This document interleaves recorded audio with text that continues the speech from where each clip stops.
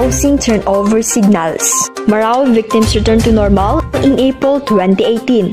New trains for Philippine National Railway were deployed in December 2019. Philippine economic growth back in positive territory exceeds 2019 target. Filipinos have encountered and undergo different adversities of life. Hardships nor difficulties brought by catastrophes, imperialists, or even its own kin. That is the reason as the ages pass by, mishap is something as simple as breathing air for some Filipinos. Regardless of this, would it be advisable for us to be satisfied with what we have? Filipinos have been adulated for their resilience for countless times. The smiles and laughters of the poor in hospital beds that we see featured by the media, and inspiring stories of students trying to give their best despite the pandemic.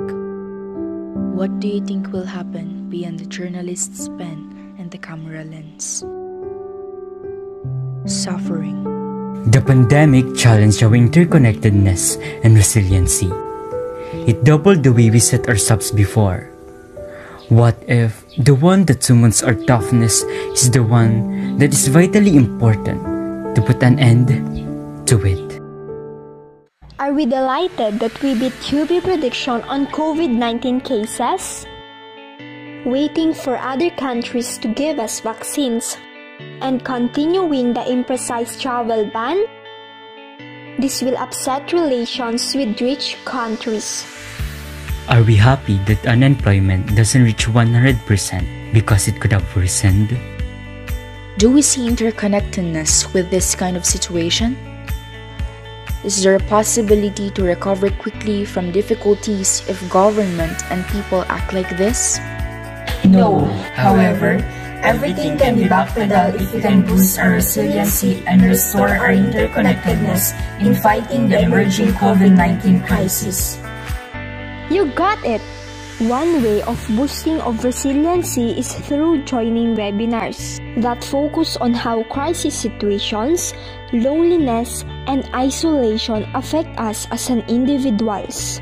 We can develop and advance separately on the most proficient method to adjust and connect our apprehension from the things we get from participating in virtual talks. It is an incredible assistance to boost our resiliency and recuperate rapidly in battling COVID-19. Our fight against COVID-19 put us in the battlefield.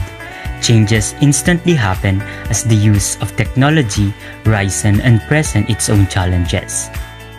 It plays a critical role in offering treatment information, and greater safety for the benefits of the people. One example is the utilization of big data dashboards.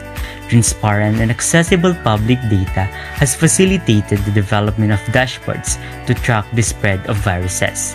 One common thing that we can do is to disseminate the right information and inform the people about the protocol set by the IATF, making the public to be aware of what COVID-19 may bring in the environment. In this way, we can interconnect with each other and it will lead us to a healthier and safety life. When we feel powerless in the face of novel risk, we end up feeling pretty anxious. Learning and practicing the skills to help minimize the risk of COVID 19 may help us feel less stress and anxiety.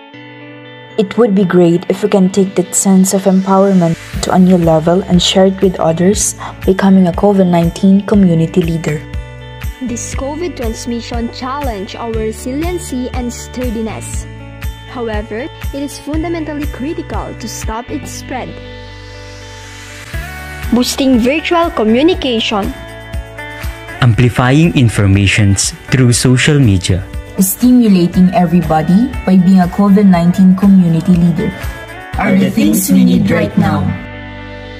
Toughness will always prevail if there is interconnectedness and unity.